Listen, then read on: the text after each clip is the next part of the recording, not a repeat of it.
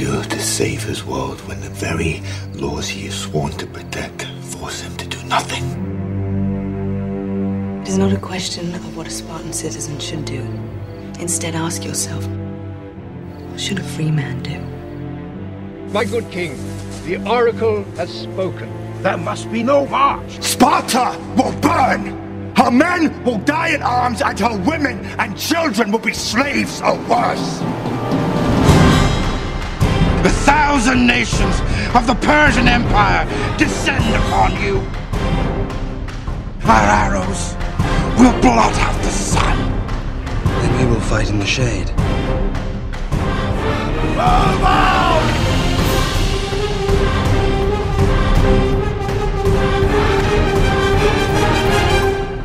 This is where we hold them!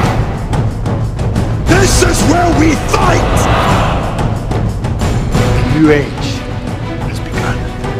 An age of freedom! And all will know that 300 Spartans gave their last breath to defend it! Spartans! Prepare for glory! Hail! Come and get them! It's Not the best you can do! Spartans never retreat! No mercy! Spartans never surrender! Stand and fight! This is Sparta! Tonight we dine in hell!